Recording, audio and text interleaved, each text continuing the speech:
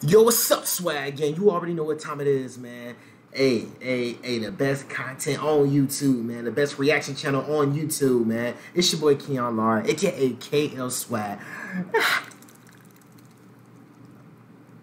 Back here with a video, you guys. Look, man, I just see you guys request. Damn, my hair. Fuck all that. Forget it. Hey, I just see you guys requested for me to react to the craziest 77 seconds in NBA not NBA, NFL history, you guys. Um, hey, like I told you guys, all you guys got to do is, you know, go in the comments and go crazy, man. Let me know what you guys want me to react to. And yeah, I know my hair needs to be, be you know, fixed up. But um, yeah, man, um, this YouTuber name is official Jaguar Gator Nine. Uh, shout out to him, and let's just get into the reaction. September 30th, 1990. Rich Stadium, Damn, 1990? between the Buffalo Bills and the Denver Broncos. Both of these teams made it to the postseason the year before, with the Broncos representing the AFC at Super Bowl 24. Both of these teams are off to pretty good starts this season, as they're both sitting at 2 and 1 through 3 games. Damn. And it's the much anticipated matchup between two of the best quarterbacks in the game, with John Elway and Jim Kelly going at it. Damn. Both of these quarterbacks would wind up in the Hall of Fame when all is said and done. Okay. On this day in 1990, through three quarters, it was all Denver. Denver led it 21 to 9 through three quarters, and they had the ball to start off the fourth. Okay. They were doing everything that they needed to, driving it down the field, taking time off the clock, and setting themselves up to put this game out of reach. Now, with about 11 minutes left in the game, the Broncos had the ball inside Buffalo's 10 yard line, Yes, sir. facing a third and three situation. John Elway takes the snap, and it's a design quarterback draw. Ooh. And early on, it looks like there's a hole at the middle for Elway to get the first down and drain some more clock. Ooh. But then, number 96 on Buffalo sheds his blocker and is able to force Elway to the outside. That's Leon Seals, who got drafted by the Bills in the fourth round in 1987 and is now in his fourth season in the league. Seals would start every game for the Bills that season on the defensive line, and though this play doesn't show up in the stat sheet, it's arguably one of the biggest plays of his NFL career. If Seals doesn't shed his block, that's an easy first down for Elway. But Seals is able to force Elway to the outside, slowing him down, where the Bills then made the tackle and stop him short of the sticks to force a fourth down. What's about to transpire because of this play is nothing short of remarkable. Because what's about to happen now is the craziest 77 seconds in NFL history. Okay.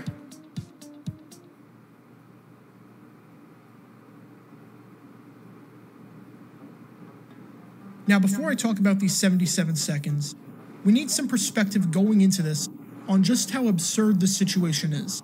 Uh huh. The first season with the two point conversion in the NFL was 1994.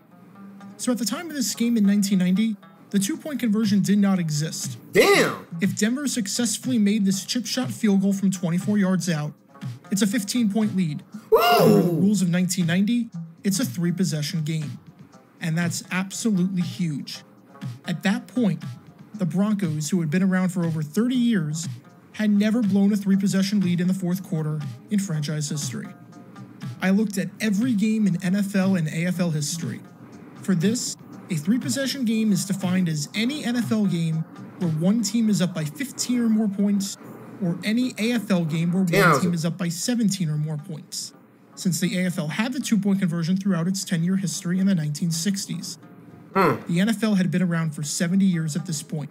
And I could only find 21 instances of a team having a three possession lead in the fourth quarter and then proceeding to blow it. Here's a look at every single one of them, all 21, including a game between the Buccaneers and the Cardinals in 1987, where the Buccaneers blew a 28 3 lead. Oh my I guess it's a requirement to be a part of today's NFC South. So if Denver made this field goal to extend their lead to 15 points against Buffalo, it would be a near insurmountable deficit for Buffalo to come back from. And keep in mind that the stat I just mentioned doesn't factor in the time remaining when the lead was blown. Damn. It wasn't just a fourth quarter lead by three possessions. This would have been a fourth quarter lead with 10 minutes left in the game. Buffalo would have had to play a flawless game at that point and then some to come back. You don't got no And it's safe to assume that this field goal from 24 yards out was a guarantee. Broncos kicker David Treadwell was one of the best kickers in football at the time. Was he? Heading into this attempt, he had made 28 out of 30 field goals inside of 40 yards. The previous year, in 1989, Treadwell was named a Pro Bowler after hitting over 81% of his kicks, which was the fourth best percentage in the league. Damn. Pro Football Weekly and UPI named him a first team All Pro as well. Hey. And in week one during the 1990 season, he had a 24 yard field goal attempt against the Raiders. While he couldn't He's got a pointy footage of the ass kick, nose, man. he made it. God damn, he can So poke me with that stood, shit. the Broncos Damn, had a sound right. 99.5% chance. Damn, I should cut that out. I, I I mean, he gonna poke like he gonna like poke like poke me with it. Damn, damn. chance of winning this game. Make the field goal, and it goes up to a 99.9% chance. So the scene has been set. We've got a lead that's almost insurmountable, a field goal attempt by a kicker who is practically automatic and is one of the best in the league. Sounds like And we've it. got a situation where, due to the score of the game and the time left on the clock, a win is all but guaranteed. Hmm. Keep all of that in mind when I show you what's about to happen over these next 77 seconds. Yes, show me.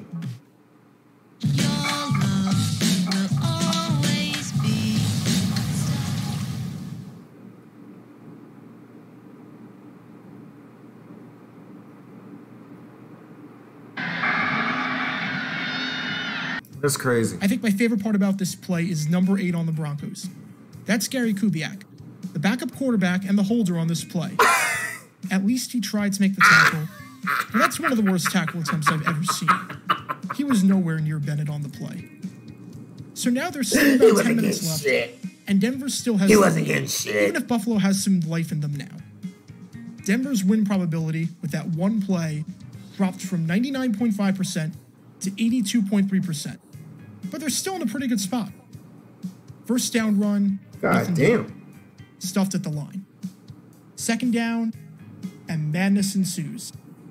Making it tough. Buffalo's got the lead. A blocked field goal and a pick six later, and Buffalo has now taken the lead for the first time today. That was nice. That's Leon Seals who tipped the pass, and Leonard nice. Smith who got the pick.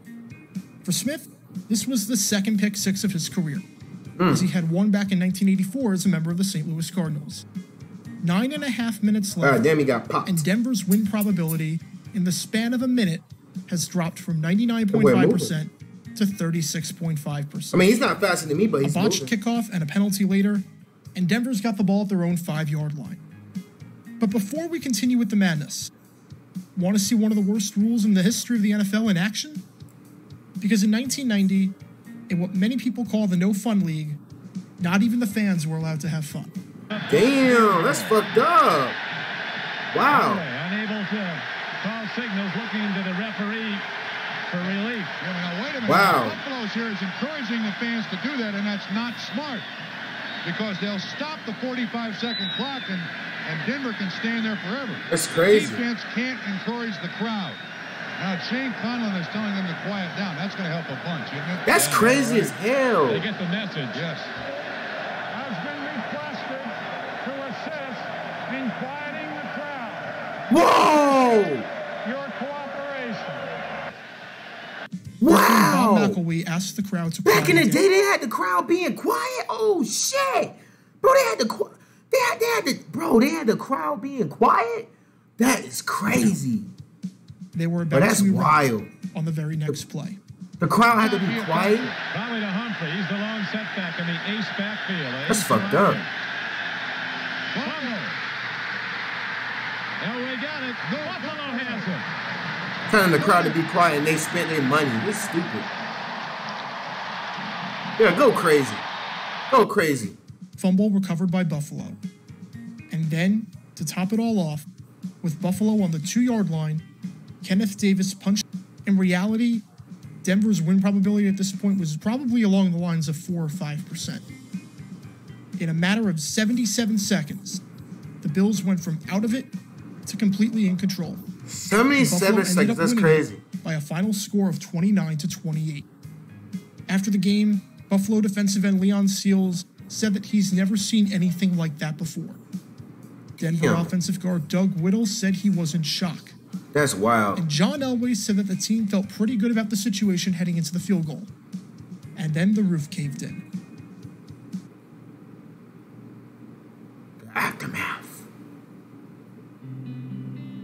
Turns out, this game would kickstart Buffalo's incredible 1990 campaign, and it would send Denver into a tailspin.